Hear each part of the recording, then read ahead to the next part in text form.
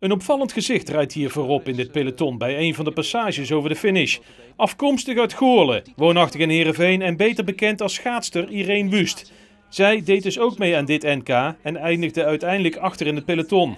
Voorin liet Anoushka Koster medevluchter Janneke Ensing kansloos in de sprint en dus pakte de ploeggenoot van Marianne Vos het goud. En daar ging het uiteindelijk om. En dat Vos derde werd, was een opsteker. Uh, ja, dan als je dan nog erachter nog derde kan worden, dat is natuurlijk mooi meegenomen. Maar ja, het enige wat echt telde was de titel. Vos had ook nog wat nieuws te melden. Want haar ploeg, de Rabo Liv ploeg, maakt deze week bekend dat een andere sponsor de ploeg overneemt. We gaan in ieder geval door, dus dat is, uh, ja, dat is uh, zeker. Uh, alleen ja, goed, hoe dat verder ingevuld gaat worden, dat moet de komende weken tot verdere invulling komen. Maar ja, het, het, is, het is een mooie ploeg en daar gaan we, gaan we mee door.